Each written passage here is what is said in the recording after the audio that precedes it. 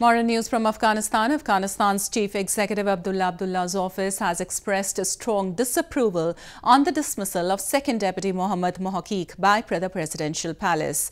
The move comes a week after Mohaqiq announced he will run as second vice president on Mohammad Hanif Atmar's election ticket.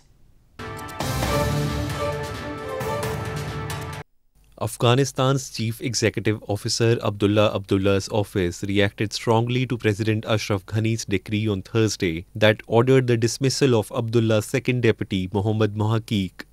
The CEO's office said it was a one-sided decision and against the provisions of the political agreement on which the National Unity Government or NUG was established.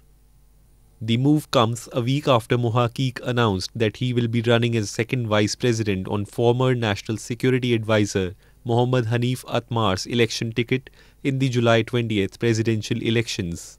اسمی تصمیم عزل جناب استاد محمد محقق معاون دوم ریاست اجرایی خلاف روحی حکمت وحدت ملی و خلاف روحی توافقنامه سیاسی حکمت وحدت ملی است که حکومت وحدت ملی تا انتخابات آینده و ایجاد حکومت مشروع دوام میکنه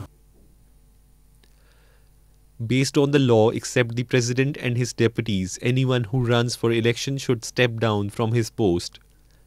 Legal experts say that the CEO holds 50% of the powers, like the president, and Abdullah has also made it clear that he will not step down from his post until elections. Mohaqiq's office meanwhile said that an official response to Ghani's move will be made soon.